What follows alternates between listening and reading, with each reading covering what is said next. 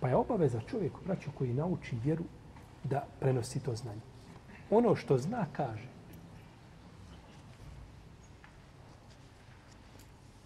I onaj ko nauči, a ne poučava druge, on je griješan.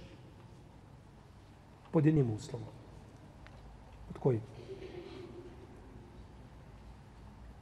Da nema niko drugi ko će tu obavezu izvršiti, ko će prenijeti znanje. U jednom gradu imamo 50 učenjaka.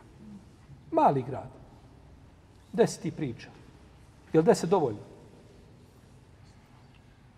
Jesu. Malo grad, malo mjesto, ima puno učenjaka. Deset priča, ostali kada šute nije, nije više fardajn. Fard kifaji. Došla skupina koja može podmiriti potrebu, ovi drugi nisu griješni.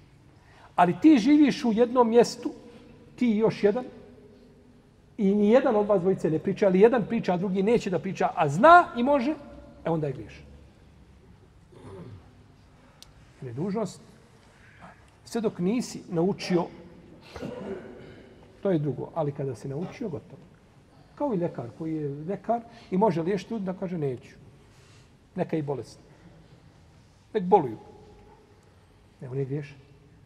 Ali ako u jednom mjestu ima 50 lekara, pa pet je, je tako, u službi, i liječe ljude, i mogu podmiriti potrebu, ostali ne moraju to raditi.